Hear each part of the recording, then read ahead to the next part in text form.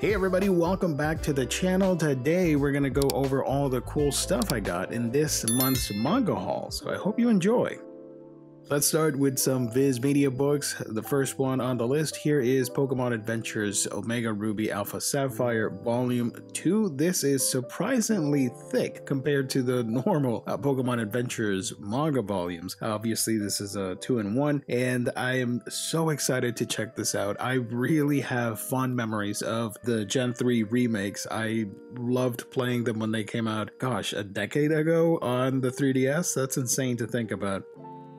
I told you I would catch up, and here I am, officially caught up with Dark Gathering. Here we have Volume 6 and Volume 7. Genuinely one of the best modern shonen horror books that you can get. The story just keeps getting creepier and creepier, which adds to the overall quality of the book.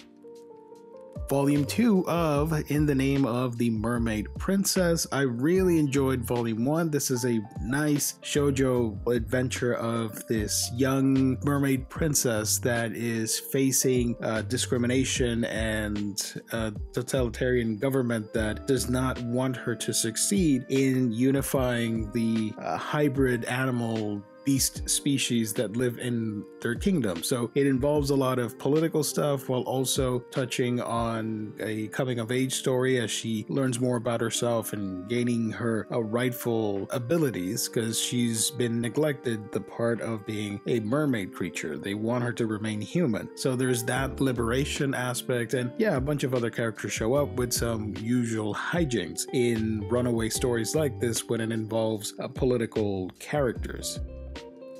Another one that is close to wrapping up is Blade of the Moon Princess Volume 4. I'm waiting for that Volume 5 to finish the whole thing and give you my proper thoughts on it, but this is a lovely series that I think could have gone on for a little bit longer, not just five volumes. The premise is fun. You have uh, the reimagining of Princess Kaguya from the moon and how she has been exiled to Earth and is trying to survive and taking down foes and all that stuff. So it's a nice action fantasy that could appeal to a lot of people out there. So give it a shot if you haven't already. Blade of the Moon Princess.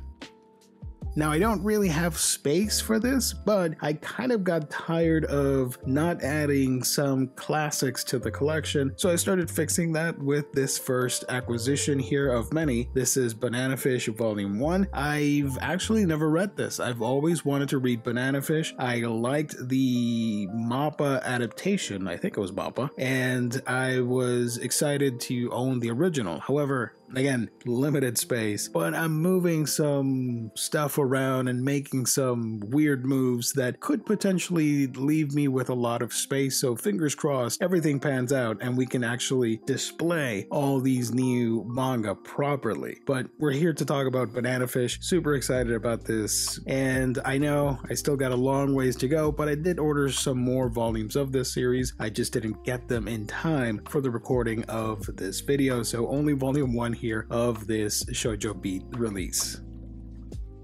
From Titan Manga, we got two releases. The first one is the final volume of the Great Yokai War, Volume 3. This wraps up the adaptation of the screenplay of the movie of the same name. That's a tongue twister right there. But The Great Yokai War is a lot of fun with great characters, and if you like yokai, if you like supernatural stuff, you'll be right at home with this. It's a nice, concise story with a great start, middle, and end as you have the tale of these two brothers that are trying to reconcile and become better siblings while also having having the enormous task of stopping the bad guys from destroying Japan and the world. Of course, many yokai are involved.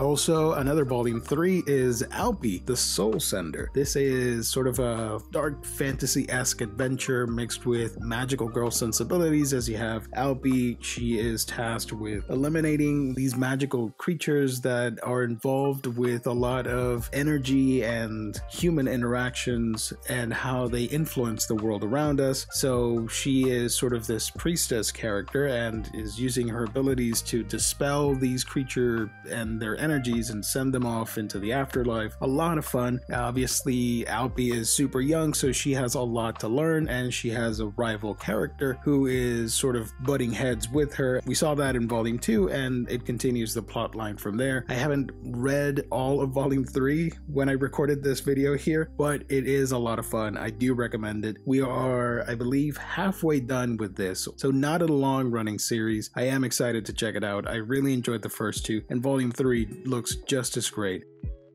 From Square Enix manga, I got Smoking Behind the Supermarket with You, Volume 2. I reviewed Volume 1 on the channel. If you guys want to check it out, go uh, look under the uh, reading vlog segment. And I enjoyed Volume 1, though I was a little bit skeptical with the idea of this being a long running series because the premise, I don't see it lending itself to like 20 volumes of this. You could be done with one chunky book, and that's cool.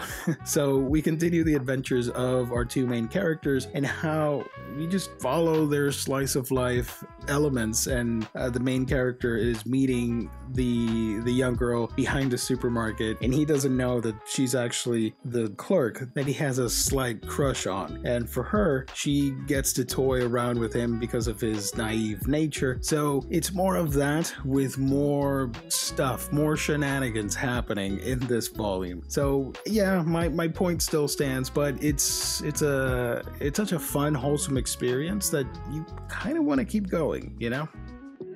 Now, this from Seven Seas is one of my hyped up, most anticipated releases of the whole year. For me, just for me. Please, before you dislike the video, this is just for me. Here we finally have Mysterious Disappearances from Nujima. I am so excited to have this. I really enjoy the manga. I have to confess that I've read some of it online, and I love the anime adaptation of it, which is currently airing as of me talking in this video. And it, this is a lot of fun. If you enjoy things like Call of the Night, for example, over at Viz with Kotoyama, it has the aesthetics and the vibes going, where you have an ordinary character being involved in something unnatural, if you will, and it involves folklore, urban legends, and it has a very distinct stylized art, which I am a huge fan of. I like this type of artwork, and this manga, it tackles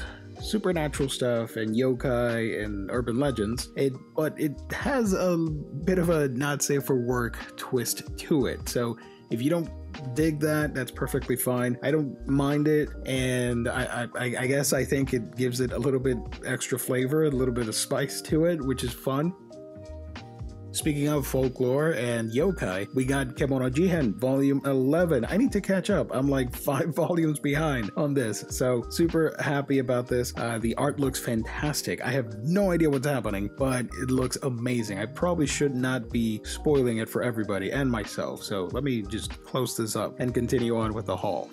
Volume 2 of A Cat from Our World and the Forgotten Witch. I talked about Volume 1 back at the start of the year 2024. It's insane that we've had to wait so long for Volume 2, but here it is. This is a lovely, fantastic, whimsical series about this witch who summons a familiar, but it ends up being a cat from our world. And the cat is huge because apparently in this world everybody's tiny, so that's the size difference. And it, it has sort sort of a Frieren esque twist to it where you have a former heroic character now much later in life, and maybe she's not viewed as heroic as she once was, misunderstandings in some areas with the population, so she's sort of seen as this mysterious witch, whereas before she was a hero, a mage that helped defeat the demon lord and stuff like that. So I can definitely see why people would compare it to. Obviously, Obviously, this is much different because of the whole cat thing, and the actual cat is extremely adorable and super fluffy, and I just love it to death. I think this is one of my favorite currently released manga involving cats. I really like this, and I hope you give it a shot. A really wholesome, fun experience. Don't Call It Mystery Omnibus Volume 4, which contains volumes 7 and 8 inside. Of course, these are two in ones continuing Totono's adventures and mystery solving. And I am behind on this series, so I don't want to read too much into what I'm looking at here, but it looks great. This is a, a wonderful series that I think here in the West is severely underrated, and I hope more people would be interested in picking this up. This is a phenomenal mystery detective slice of life series that I highly recommend. I put out a singular video on it, some of my impressions on it, and a slight review on the first omnibus edition, so definitely check that out if you're interested. From Yen Press, we got Tougeoni Volume 3. This is such a bonkers series. I thought I was going to stay with the whole uh, primeval before, you know, time before time aspect to it, but there's some time travel aspects, there's some modern stuff, there's magic, there's gods and uh, other deities and monster creatures and just insane things all around. And I love the art. I am all here for Tougeoni, Primal God gods in ancient times.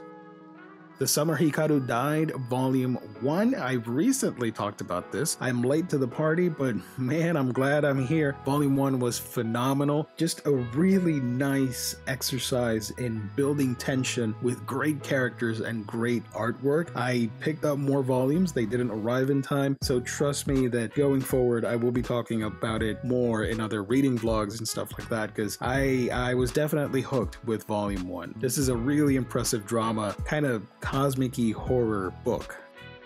And speaking of cosmic, we got God Bless the Mistaken Volume 2. Volume 1 was one of my anticipated releases of this year. So happy that we have Volume 2, and this continues more of the exploration behind the glitches and the main characters trying to learn about them and living their best lives. It's it's got slice of life elements to it, but it's the fact that they take their time to explore the phenomena and bring you whimsical adventures with each chapter really sets it apart from most of the other books out on the market. Handyman Saito in Another World, Volume 4. This is probably one of the best modern examples of isekai in a way that it just works. This is a great series that blends dark fantasy or just fantastical elements with the isekai tropes and genre and all that in a lovely little package. We have a very wholesome roster of characters, beautiful art, highly detailed action, and this volume is where everything just comes to a boil and we get some resolutions to the main conflict and fights and all that stuff. I don't want to reveal it, but if you know know, you know, and it sets up more stuff for the future. I really, really enjoy this. I think this is a must read if you're into fantasy, a little bit of comedy, of course, and if you like isekai stuff as well. Definitely check out Handyman Saito in Another World. From Kodansha, we got Tsugumi Project Volume 5. This series is a lot of fun. If you enjoy stuff like Hell's Paradise, this is a little bit more modern, not as rustic as Hell's Paradise, and it sort of has that Suicide Squad type of feel from DC Comics as you have these characters venturing into unknown territory for a shady uh, recon mission and all that stuff. Of course, they're mutated hybrid people, creatures. There are gorgeous landscapes, great action. This has a little bit of everything, just really unique and visceral at times. I highly recommend Tsugumi Project. We are, I believe, two or three books from completing the full set. From Oma Say, we got volume 2 of Bloodblade. You might remember me talking about volume 1. I love the premise. It's a lot of fun. It's very action packed. It kind of reminded me of Hellsing, where, uh, you know, it's not the most intricate, detailed thing in the world, but you have a lot of fun with it. It's a like a monster B horror mashup type story, and it works. But unfortunately, there were some technical aspects with volume 1 that kind of put me off. From what I'm looking at here with volume 2, a lot of it seems seems to have been corrected, so I don't know what happened there. I'll do a deep dive later on one of my reading vlogs, but I am excited to continue the story because I do like the premise of a female version of Dracula as she's running from the bad guys and seeking shelter in this ideal utopia of an island that we don't know if it exists or not, but she's on her way there, so we'll see what happens. One more book here. We got Magic Knight Rayearth, Part 1, Book 3. This completes what was released recently. Uh, or I say recently, but it was four years ago. Holy crap. The first uh, anniversary box set. I've mentioned this before, but you know, a lot of people are new to the channel. I love Magic Knight Rayearth. I remember the games and I remember the anime, and I've always wanted to own some of it. So with the manga, I was really excited for, but I don't have room for large box sets and uh, it was a little bit too expensive at the time. I, I think it's still pricey. And uh, these are a nice happy medium where you have a scaled down, regular sized, or you know, larger trim compared to other volumes, but still smaller sized editions of Magic Knight Rayearth. So now part one's done. Now we wait for part two to begin and be collected across three more volumes. Anime wise, I got three releases for you guys. The first one is Mob Psycho 100 Season 3, the end of the series, which I thought was spectacular. I really enjoyed how the series ended, and Season 3 had bombastic, epic, beautiful, amazing artwork and some of the most insane fight scenes I've seen in recent memory. Really, really top tier stuff. I love Mob Psycho, and it's wild to me how distant the releases have been from each other. I remember getting Volume 1 before major life events happen in my life. Kind of redundant, but you know what I mean. And then Volume 2 came out, and it was sort of the same deal. And now, four or I think it was two and a half years later, or three, now we get Volume 3 or Season 3. But here it is. Mob Psycho 100, Season 3 the 4K edition of Belladonna of Sadness. I must admit, I've never seen this, and I know it's one of those films that can be perceived as sort of an artsy fartsy anime, but I'm in the mood for it. I think it looks absolutely gorgeous. A fantastic 4K transfer, if you ask me. I'm not an expert on it, so don't quote me, but to my naked eye, it looks fantastic. And just a really interesting visual uh, representation of trauma, love, sexuality, and a lot of other elements that come into play in this movie. And last but not least, I am so happy man, I am so excited that I finally own IGPX. I never owned the DVD releases from back in the day. I love this series so much. This is one of my favorite mech slash sports series of all time. I used to watch it. I, I watched it when it debuted back on what, uh, 15, 20 years ago, whatever it was, on Toonami and Adult Swim, and loved it ever since. And when they would do reruns, I would catch it as well. And I always wanted to own it. I never imagined that it would get picked up by Discotek and reworked, remastered, whatever into Blu ray. And now I finally have it and can just watch it whenever I want. This is such a fun series with a great dub cast. I'm not a dub guy, but the cast list on this is pretty insane. Go check it out regardless, this is uh, such a fun sports series with a lot of highs and lows and drama and all that stuff. Oh man, I can't wait to revisit this modern classic, in my honest opinion. Alrighty, there we go. That's the haul video. Of course, I'm always missing some stuff. I always have postal issues.